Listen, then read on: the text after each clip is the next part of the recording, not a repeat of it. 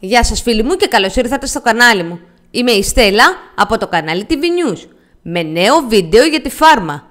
Όπως είδατε και από τον τίτλο θα σας πω πότε έρχεται στις οθόνες μας και σε ποιο κανάλι.